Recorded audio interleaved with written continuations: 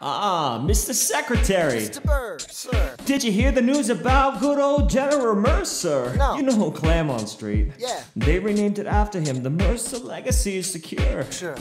And all he had to do was die. But that's a lot less work. We ought to give it a try. and how you gonna get your debt plan through? I guess I'm gonna finally have to listen to you. Oh, really? Talk less. Smile more. Do whatever it takes to get my plan on the Congress floor. Now Madison and Jefferson are merciless. Well, hate the sin, love the sinner. Hamilton. I'm sorry, Burr, I gotta go. But Decisions are happening over dinner. two Virginians and an immigrant walk into a room. Diametrically opposed foes.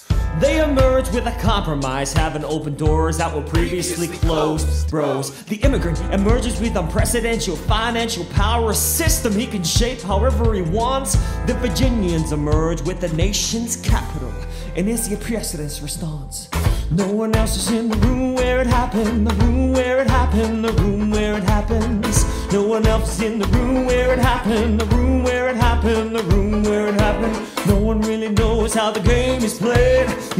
the art trade, how the sausage gets made.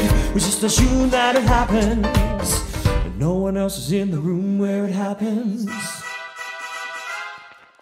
Thomas claims. Alexander was on Washington's doorstep one day in distress and disarray. Thomas claims. Alexander said, I've nowhere else to turn. and basically begged me to join the fray. Thomas claims. I approached Madison and said, I know you hate him, but let's hear what he has to say. Thomas claims. Well, I arranged the meeting. I arranged the menu, the venue, the seating. But no one else is in the room where it happened, the room where it happened, the room where it happens. No one else is in the room where it happened, the room where it happened, the room where it happened. No one really knows how the parties get to yes. The pieces that are sacrificed in every game of chess. We just assume that it happens, but no one else is in the room where it happens. Meanwhile, Madison is grappling with the fact that not every issue can be settled by committee. Congress is fighting over where to put the capital. it isn't pretty. And Jefferson approaches with a dinner and invite, and Madison responds with a Virginian insight. Maybe we solve one problem with another and win the victory for the Southerners. In other words, Oh, oh, a quid pro quo. I suppose. Wouldn't you like to work a little closer to home? Actually, I would. Well, I propose the Potomac. And you'll provide him his votes. Well, we'll see how it goes. let's go. No, What else was in the room where it happened? The room where it happened. The room where it happened. no one else is in the room where it happened, the room where it happened, the room where it happens.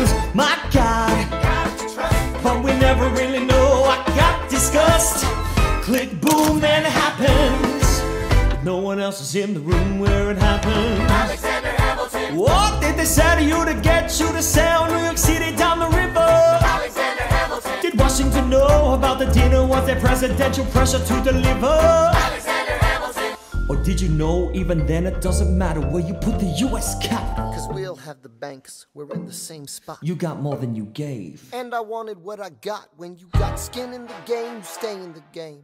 But you don't get a win unless you play in the game. Oh, you get love for it, you get hate for it, you get nothing if you wait for it. Wait for it, wait.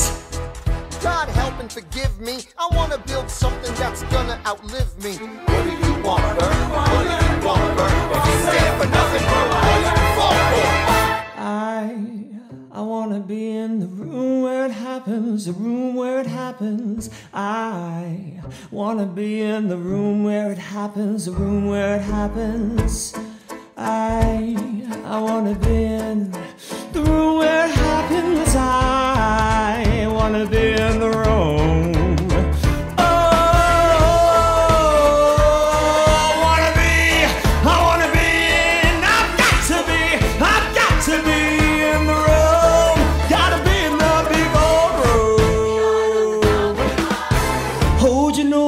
close your eyes. We don't get a say in what they trade away. But we dream in the dark for the most part.